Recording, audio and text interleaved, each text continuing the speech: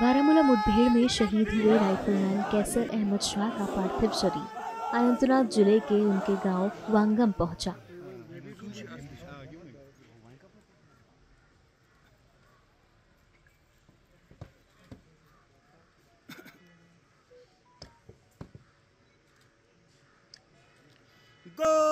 शहीद हुए दिवंगत जवान को श्रद्धांजलि देने के लिए भारी भीड़ उमड़ पड़ी।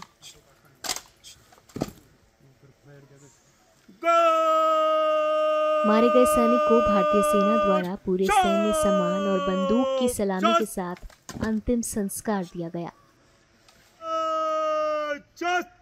और सैकड़ों ग्रामीणों ने नम आँखों से उनको अंतिम विदाई दे दी।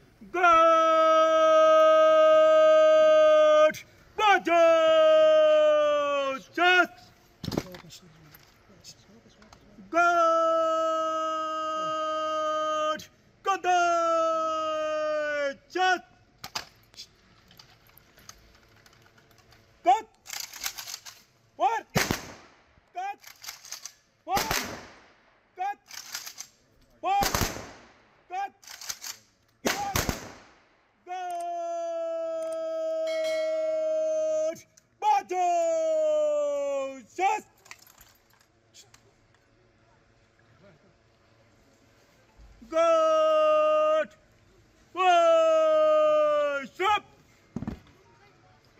ये सही बात है। आज ये मेरे इलाके में दूसरा वाक़ा हुआ है, आठ अक्टूबर से। ये वनगाम का कैसर। आज मौत आगोश में चला गया सुबह सवेरे, क्योंकि कोई हादसा हुआ है, जहाँ वो ड्यूटी पर था। बेचारा रोज़गार कमाने के लिए गया था। छोटी सी उम्र में, अभी थोड़ा ही वर्षा हुआ था फौज में, लेकिन हादसे का शिकार होकर चला गया। मुझे इस बात का दुख है, और मेरी ज़ाहिर हमदर्दी है, और अल्लाह ताला से दुआ गूँ क्या ऐसे कोई वाक़ात पेश ना आए। मैं ये ज़रूरी बताना चाहूँगा आज से कुछ दिन पहले यहाँ मेरे पड़ोसी गाँव नवगाम का एक ऐसा ही वाक़ हादसा पेश आया छोटे छोटे दो बच्चे उस लड़के के। आ, वो भी यतीम हो गए। बूढ़े बाप वो परेशान। ऐसे वाक़ात आए न हो ये मेरी अल्लाह ताला से दुआ है। आए दिन अटैक्स होते हैं।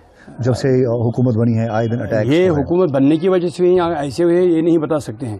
क्योंकि ये हम नब्बे से ये मुसीबत झेल रहे हैं। कभी ये ठंड पड़ता है कभी तो उछलता है। नारे!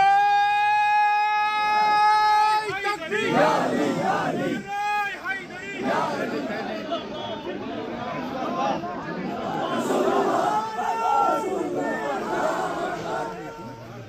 हैदरी